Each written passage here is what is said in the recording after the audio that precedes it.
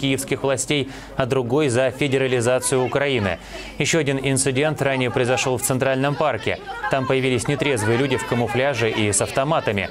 Их остановили сами харьковчане, которые потребовали документы и разрешения на оружие. Как выяснилось, вооруженные люди – первые бойцы карательного батальона «Слобожанщина», которые сейчас формируются в Харькове. Что вы с автоматами по городу лазите? Что вы здесь делаете?